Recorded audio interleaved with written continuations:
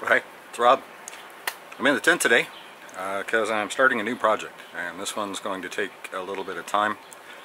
Uh, the plan is to put a railing on the back deck and um, it's actually a pretty involved project. I've got to try and do it to code and you know make sure that it's sturdy and strong and also that it looks relatively decent. So I ended up getting some uh, pre-made deck rails uh, and I've got some cedar 4x4s and the first thing that I'm going to do is start treating these to make them a little more water resistant and a little less prone to deterioration because cedar does deteriorate despite what a lot of people will tell you. You do need to keep it treated, you do need to keep it, you know, well maintained. So starting off with a good sealing is a very good way to do that. So I tend to make my own sealer for cedar. Uh, right now I'm using linseed oil and turpentine mixed about half and half. That makes it nice and thin so that it soaks into the wood deeper. And we'll do multiple coats, but uh, we're going to start with one. So, I'm going to mix it. I hate these.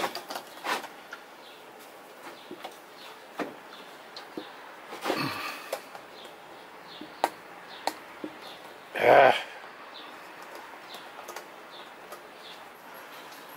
Okay, first thing is I just pulled this off because I hate these.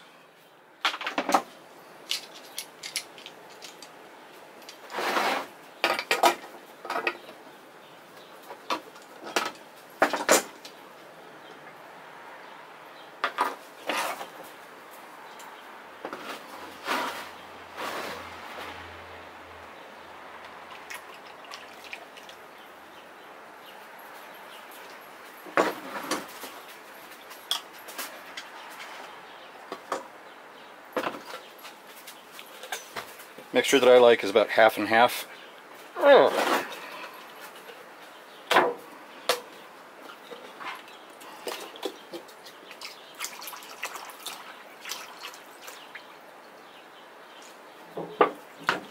It's not exact. It doesn't have to be exact.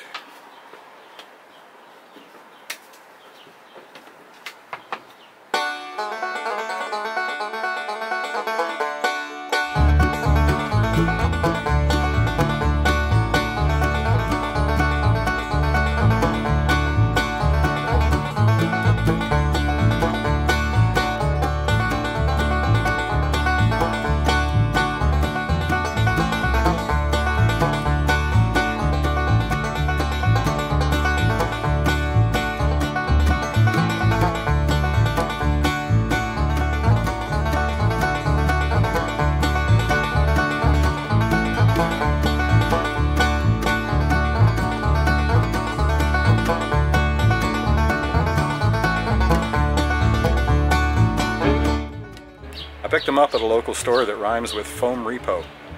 Oh,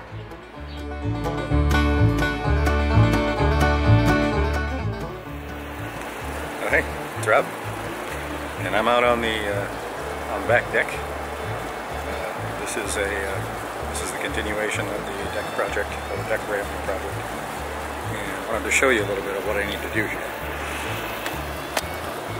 So, this is the rubber membrane roof. It's not on very well, so I have to uh, peel this up so that I can get to the floor underneath. In order to do that, I'm going to have to uh, clear off the porch and get all this crap off. So that's kind of what I'm planning on doing now. Uh, let's watch, shall we?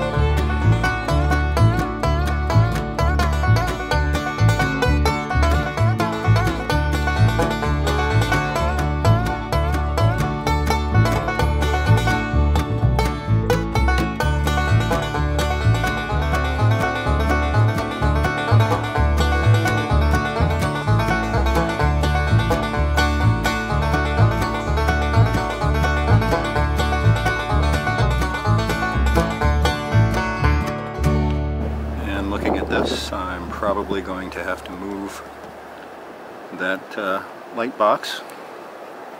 May not have to move the camera, the security camera. Uh, this one's probably okay. I guess we'll find out when all is said and done.